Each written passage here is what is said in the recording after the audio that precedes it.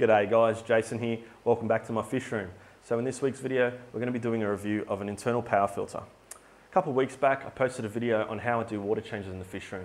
And you would have seen in that video that when I do water changes on my bristlenose catfish tanks, that it takes quite a bit of time to siphon out all the catfish poop and avoid sucking up catfish fry. So I thought I'd bite the bullet and purchase some internal power filters for just those tanks alone. And this is the filter here. These are just, I just bought them off eBay.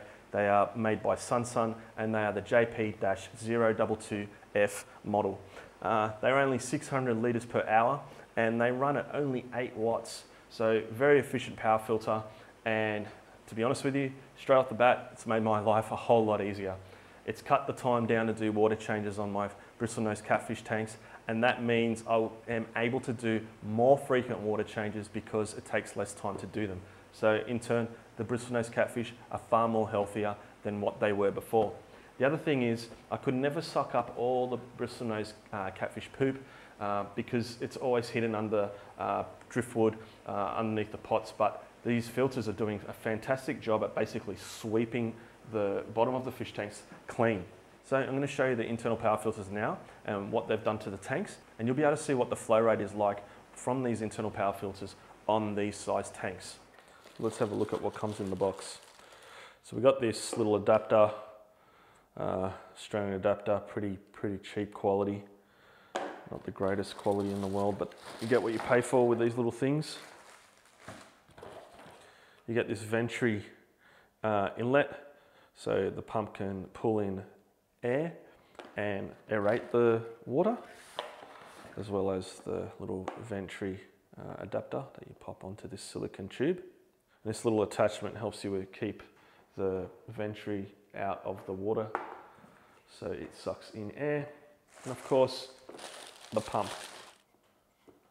Quite tiny, quite small, uh, but 600 litres an hour hopefully will be enough flow.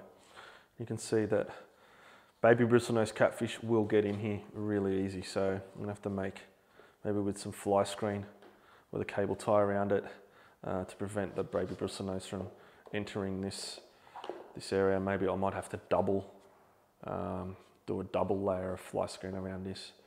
Uh, but we'll see how it goes. And I'll put some fly screen around this with a cable tie, definitely, because when I have this pump off, bristlenose will go into the pump and then they'll get chewed up by the impeller. Uh, that won't be good. It's really easy to take these pumps apart. You just basically twist. So for maintenance of the sponge, you just take the top part off and then you've got access to the little sponge that's in here. There's also a little chamber here that you could possibly put activated charcoal in, but I'm not going to do that. Um, so I'm going to give this sponge a rinse now and I'm going to assemble it all back together like you see here and then pop it into the tank. Rightio guys, so you can see the internal power filter is in the corner over here and I'm going to just switch it on now.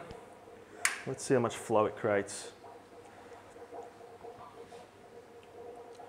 Hopefully it's enough to lift the debris. You can see debris is lifting up from the right hand side of the tank and it's not blowing the bristlenose catfish around.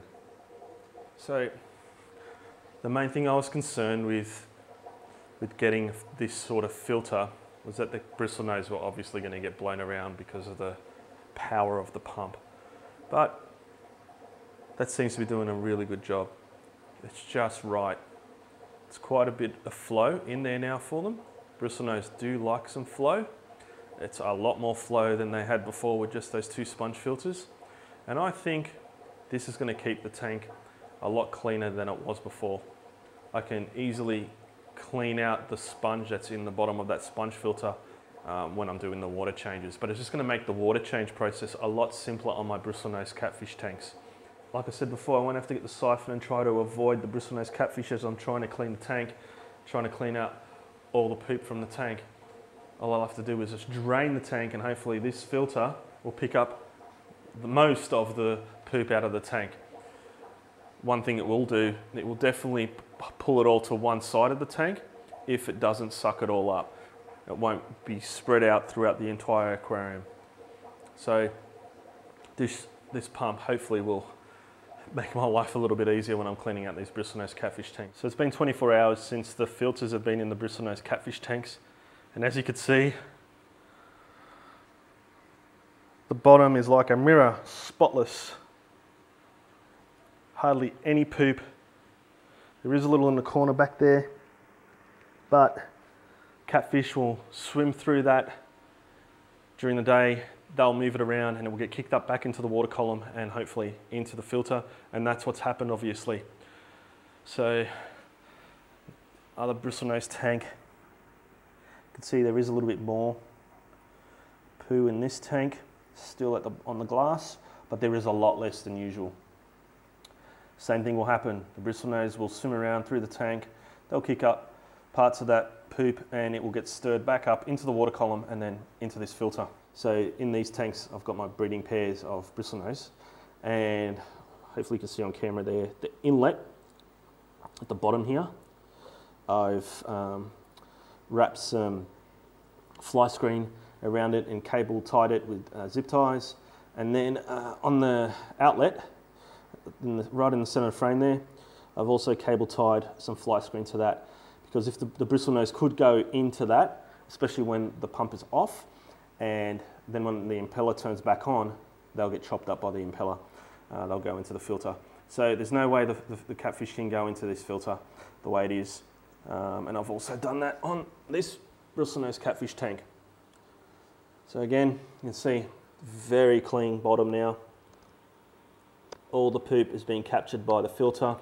There is a little bit here, but it's going to make cleaning these bristlenose catfish tanks so much easier.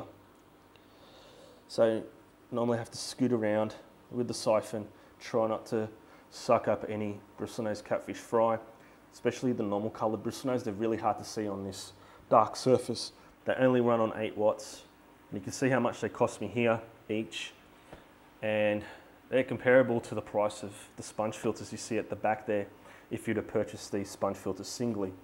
But I purchased these in bulk, so I was able to get them under $10 each. But uh, power filter, only, I'm only using four in these, in my four breeding bristlenose tanks. And they're gonna save me a world of hurt from doing water changes on these tanks because look how spotless the glass is now. So this is my adult breeding pair, my albino adult breeding pair of bristlenose catfish. This one I do need to still put the fly screen on the outlet there.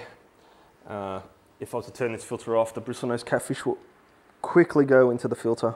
So I think this little experiment has been a success. I'm really happy with them. Obviously not the highest quality internal power filters, but they're doing the job. And if they fail, I'll just buy another one. Not a big loss. Now I should point out, I'm not sponsored by Sunsun or anyone else. This is a purchase that I made myself purely to make my, the running of my fishery much more efficient and easier for me to do water changes on these tanks. Uh, it takes about three to four hours every week to do water changes on all these tanks and I've pretty much cut down the time by purchasing these internal power filters by about half an hour. So it really does help. Um, and it's not back-breaking work anymore, especially on the lower tanks. You're bent over trying to suck up all the catfish poop and uh, not suck up any baby bristlenose. So it is quite painstaking work. But anyway, I really hope you enjoyed this video and found it informative. If you did, please hit the thumbs up, comment and subscribe buttons. I'd really appreciate it. All right, I'm gonna wrap this video up now.